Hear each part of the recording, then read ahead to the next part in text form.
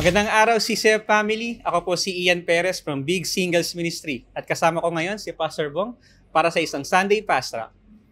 Pastor Bong, praise God for your message. Question, Pastor Bong, nagbabago ba ang calling ng isang tao? Ayan. Sa totoo lang, yung calling natin, may general na tinatawag na calling. And that of course, yung pinaka-mission ng Diyos na tayo po ay maging katulad ni Jesus at magamit niya to advance His kingdom, to make disciples. Now, yung specifics na on a daily basis, on ano, yan siyempre, may expressions yan kung saan mo gagamitin. Initially, dito ka muna katulad ni David bilang pastol, di ba? At eventually, naging mandirigma, tapos naging hari. So, yung calling na yun, nag-grow din yan eh. Nag-grow din yan.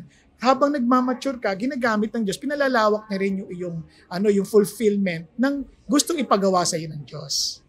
Praise God, Pastor Bong. Ang gandang reminder no, na ang calling po natin nag-grow po as we walk with the Lord. Second question, Pastor Bong.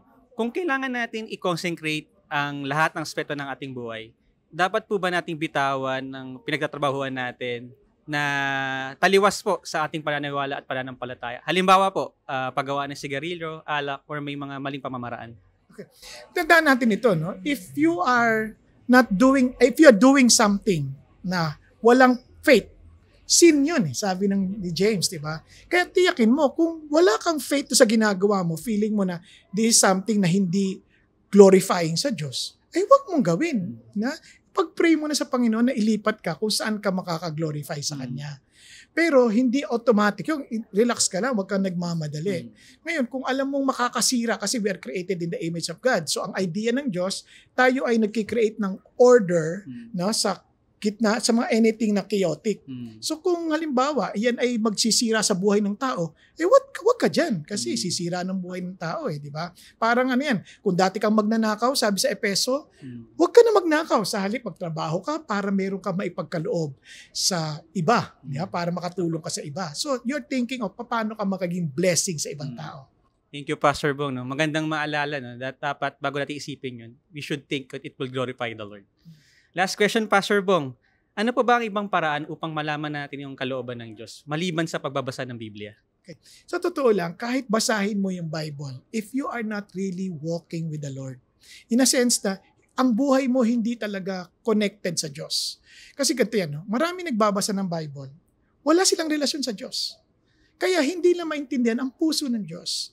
Kaya ang una mong ayusin is yung relationship with God. Kaya our Father who art in heaven, hallowed be thy name, thy kingdom come, thy will be done on earth as it is in heaven. Kasi ang will ng Diyos, primarily na i-reveal yan sa pamilya niya. Okay? So, importante yon. So, doon mo malalaman, do you have a relationship with Jesus? Di ba? With God through Jesus. Tapos sunod doon, are, are you walking intimately with Jesus? Di ba? Kasi nga, my sheep know my voice and they follow me. And sometimes, inaaral mo rin yung boses eh. Kasi lalo na kung hindi ka lumaki na ganun. Para na lumaki ka sa iba. So, as you are learning, natututunan mo pa lang yung boses ng totoong pastol. Ayan, doon ka makikinig ngayon. So, dahan-dahan, natututunan mo yon. Kaya as you read the Bible, as you pray, you're developing intimacy with God, natututunan mo ngayon yung tamang pakikinig sa Diyos. Yung tamang pag-unawa, ah, ito pala yung direksyon ng Diyos sa akin. Thank you so much, Pastor Bor, for answering our questions. By the way, guys, iniimbitahan po namin kayo sa Singles Ministry. Meron po kami Big True Life Retreat na gaganapin sa June 10 to 12. For more details, pwede nyo pong puntahan ang aming Facebook page. Just look for Big Ministry or aming Instagram account and just look for Be One with God. And that's it for CCF Sunday Pastra.